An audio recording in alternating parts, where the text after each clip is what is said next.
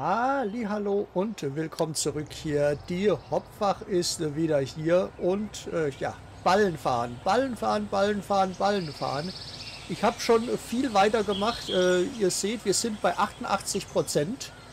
Äh, das heißt, vielleicht äh, mal gucken, ob der Wagen schon reicht hier. Äh, sonst müssen wir gleich noch eine Fuhre, denke ich mal, einsammeln.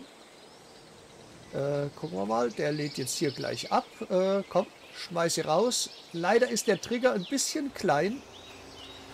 Äh, so, ja, guck mal, ist sie bei 97 Prozent. Ach, ist das ärgerlich.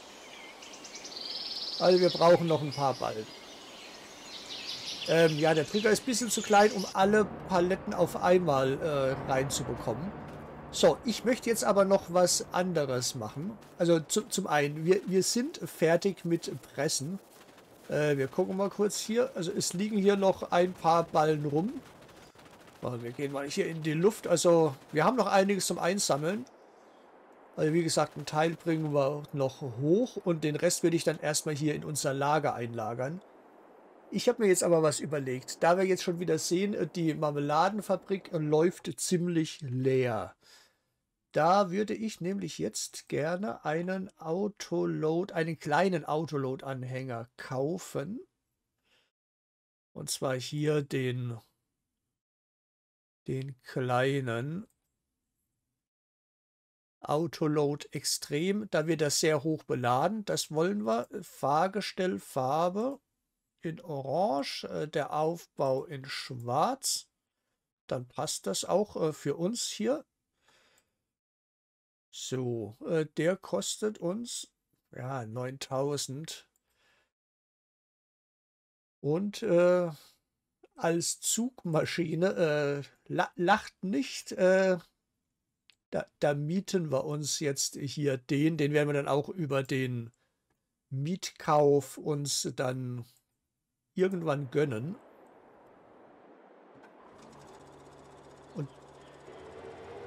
Der wird dann eben äh, standardmäßig oben bei der Marmeladenfabrik stehen bleiben. Guck mal, das passt doch wunderbar. Da können wir den nämlich darüber schicken und äh, können dann vielleicht gleich noch die äh, die Paletten einsammeln, die da jetzt rumstehen.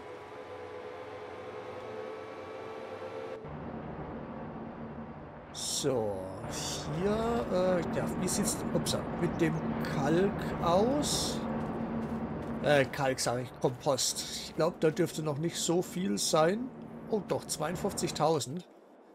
Was ich auch gemacht habe, äh, deswegen steht der hier, ich habe das Verteilen vom Mist äh, hier zum Komposter äh, deaktiviert. Das war äh, doch ein bisschen äh, sehr äh, kostenintensiv, will ich es mal sagen, weil doch die Strecke einfach ziemlich weit ist. Deswegen habe ich äh, den Wagen hier jetzt auf ein paar Runden geschickt. Der hat uns jetzt eben, ja, ich weiß nicht wie viel Mist schon ins Lager gefahren. Das soll jetzt hier erstmal die letzte Tour sein. Dann würde ich gleich nochmal ein bisschen Kompost verteilen. Und dann schauen wir einfach mal weiter. So, wir machen hier aber jetzt mal den Abkürzungsrun hier einmal quer durch. Damit wir hier schneller sind. Ist eh abgemäht die Wiese und gehört nicht uns. Also egal. Ich glaube, wir müssen hier irgendwo äh, rein. Ja, guck mal, genau getroffen.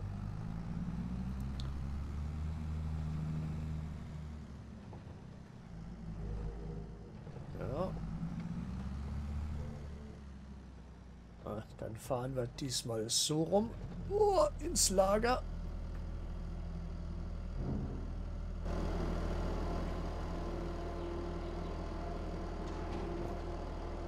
Ich wollte gerade sagen, mach das bloß nicht über den Kornschieber, sonst kriege ich einen Anfall.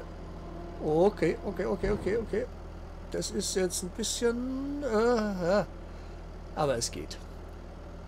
So, dann müssen wir gucken. Gewächshaus 01, Gewächshaus, ne, Obstgarten braucht äh, Kompost. Ja, ich würde sagen, wir, wir, teilen wieder ein bisschen auf. Wir oh, müssen einfach gucken, wo brauchen wir was, äh, wo schmeißen wir was hin. Und ich hoffe mal, dass wir eben bald unsere äh, unser erstes Stroh haben, damit wir hier mehr Kompost produzieren können. Weil nur mit dem Mist äh, wird es doch alles ein bisschen sehr eng, habe ich das Gefühl. Gut, wir könnten rein theoretisch jetzt Mist auch in die Gewächshäuser reinpacken. Aber das will ich nicht. Ich würde gerne auf der Kompostbasis bleiben.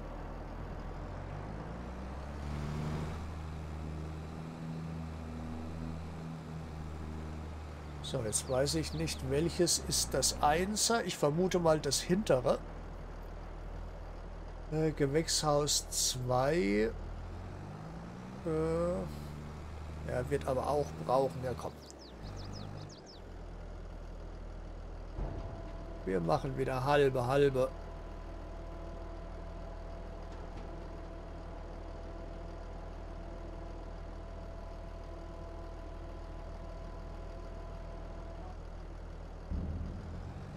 Was wir na klar jetzt nicht haben, äh, sind die,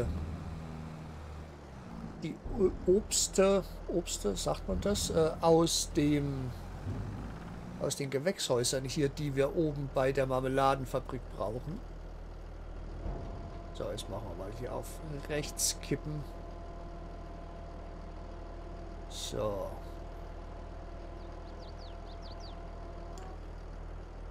Und die müssen wir dann entweder, ja, holen wir dann mal den äh, Rigitrak hier rüber. Oder wir machen irgendwann, wenn wir mit den Paletten so, äh, mit den Paletten, sag ich schon, mit den Ballen so weit sind, äh, dass wir dann eben äh, gut, der ist erst in Rheinsberg, äh, dass wir dann das mit dem LKW machen können. Also was ich jetzt machen möchte, ist erstmal gucken, dass wir die Mission abschließen können. Wir könnten aber auch mal noch schnell äh, den da äh, schnell arbeiten lassen. Da machen wir auch einfach einen Curseplay-Kurs. Äh, wenn wir die Mission abgeschlossen haben, dann packen wir den Rest vom, äh, von der Silage erstmal bei uns ins Lager. Damit wir einfach nicht diese langen Wege haben, um da ständig hoch und runter zu fahren. Weil das dauert halt doch äh, ganz schön lange.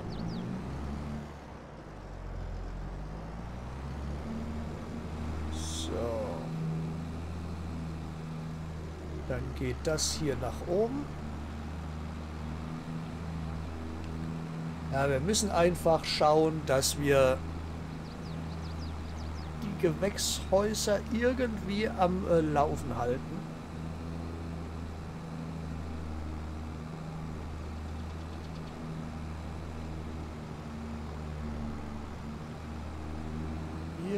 Irgendwie müssen wir das hinbekommen. So, 163 läuft, ja.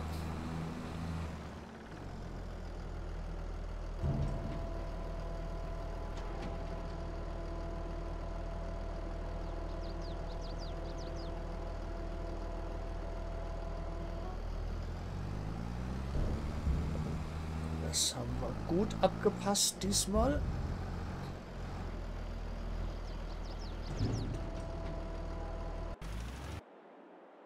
So, ja, guck mal, er ist wieder da.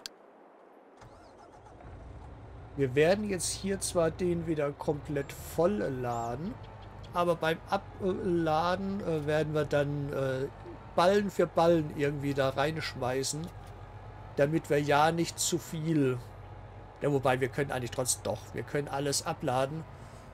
Ähm, dann wird es halt ein bisschen Geld gut geschrieben. Ist ja auch kein Problem. Wir wollen die ja eh irgendwann verkaufen. Ja gut, dann machen wir das. Einmal voll. Dann geht es ab die Post.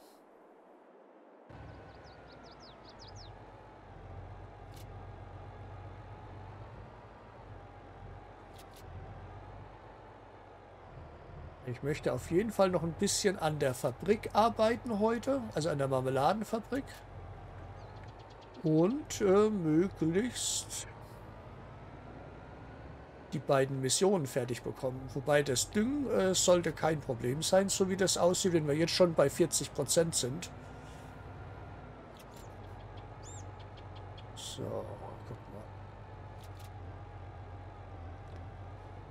Ja, ich denke mal, dass wir hier schon mal gutes äh, Geld noch so nebenbei bekommen gleich.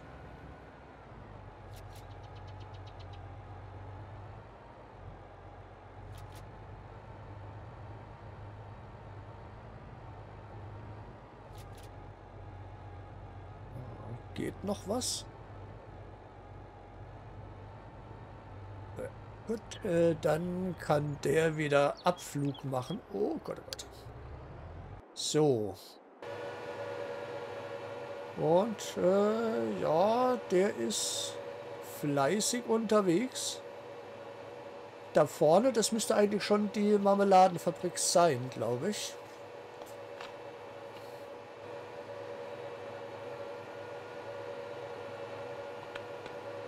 Das sieht gut aus.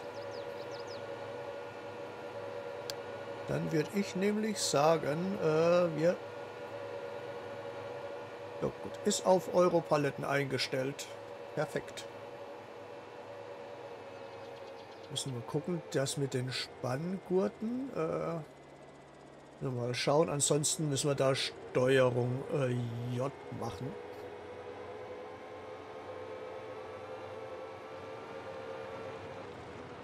Gut, wir könnten rein theoretisch, na klar, auch äh, die Sachen äh, über direkt verteilen. Hier hin und her äh, wuppen lassen.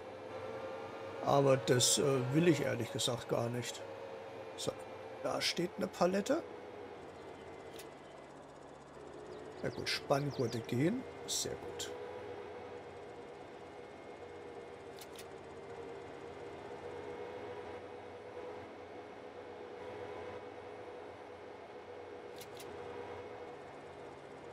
Da müssen wir dann mal gucken, welche das sind, äh, was für Produktion wir dann wieder ans Laufen bekommen. Und da müssen wir halt immer mal wieder hier längs fahren. Ist ja jetzt nicht so das große Problem. Und hier mal Paletten einsammeln. Und ich finde, dafür ist der, der kleine Rigi-Truck hier ideal. Kommen wir hier hinten rum? Mal, selbst das schafft er.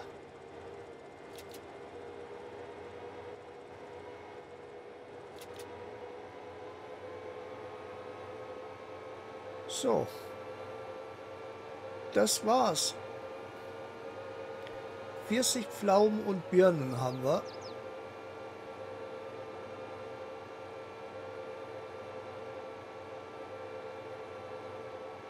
Dann würde ich sagen, einmal rein in die Fabrik.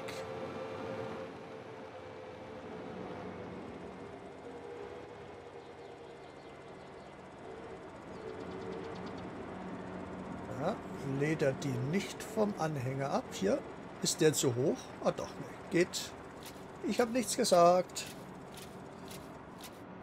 So. Oh, guck mal. Guck mal. Erdbeer, nee, Blaumarmelade. Was haben wir hier? Birnen. Wir haben wirklich schon äh, Marmeladen hier. Cool. So, jetzt ist die Frage, wo können die hin? Was bringen die an Geld?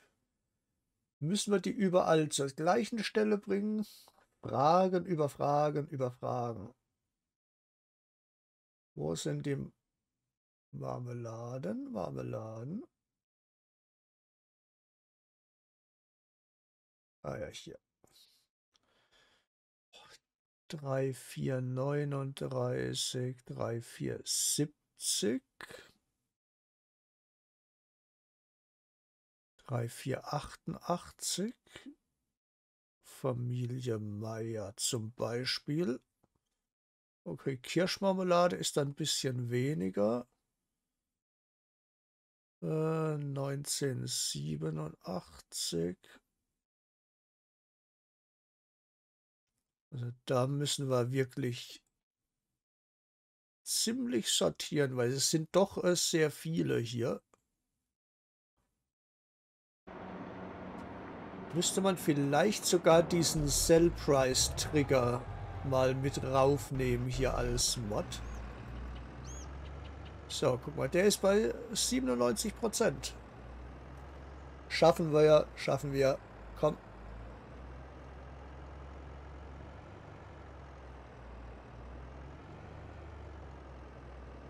Na, wo, wo willst du jetzt eigentlich hin? Wollte gerade sagen. Mach keine komischen Sachen. So, 98 Prozent.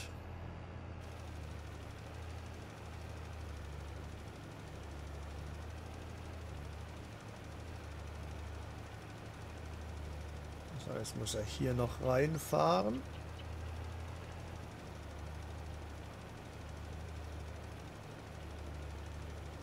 So, es bleibt spannend.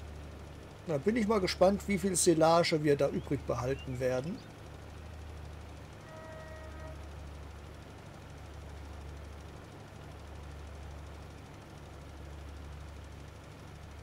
So, jetzt bin auch am überlegen, ob wir jetzt einfach schon mal die Marmelade einpacken sollten und die erstmal zu uns ins Lager bringen. So, fertig. So, dann kannst du nach Hause kommen.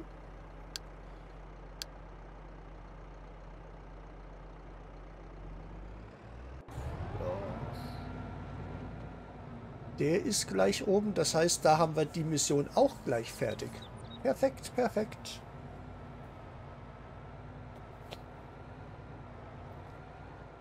Dann schlagen wir mal kohlemäßig noch ein bisschen zu.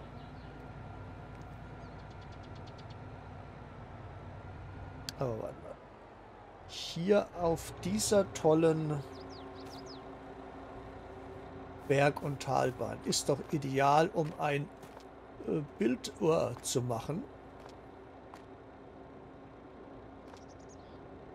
Von diesem tollen LKW. So, so.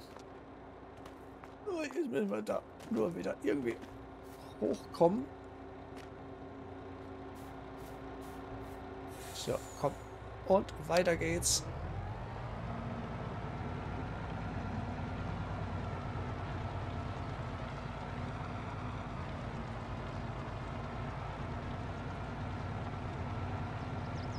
Grunde könnten wir danach auch direkt in den Juni äh, vorspringen schon. Wir haben dann, glaube ich, erstmal nichts weiter zu tun. Äh, ja, die Produktion können dann erstmal produzieren. Das ist, glaube ich, ganz, ganz sinnvoll. Ja, das würde ich sagen. Wir, ich, ich sammle äh, nach dieser Folge, weil wir eh schon wieder eigentlich am Ende für heute sind. Ich sammle die Ballen noch alle ein. Und äh, ich werde dann auch nach dieser Folge wird's das äh, Update geben. Das heißt, ich bin jetzt dann dabei, das neue Safe Game zu basteln. So, oh, guck mal. Geld. Geld, Geld, Geld. Also das wird eben dann noch äh, eine wenig Zeit in Anspruch nehmen. Deswegen habe ich jetzt doch ein paar mehrere Folgen im Voraus produziert für euch. So, irgendwie ist das hier ein bisschen laut. Ich muss, ich muss hier gerade mal kurz weg. So, wir kassieren aber noch äh, die beiden Missionen hier.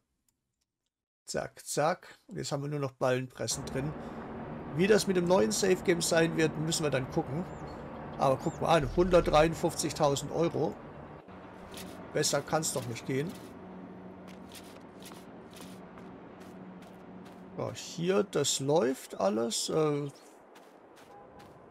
die Füllstände von den Bäumen, so werden da klar dann auch mit dem Safe Game übernommen, aber das ist ja im Grunde genau das gleiche, wie wir schon äh, kennen. Also ihr Lieben, dann würde ich sagen, das war's für den Moment. Äh, macht's gut. Bis dann. Ciao.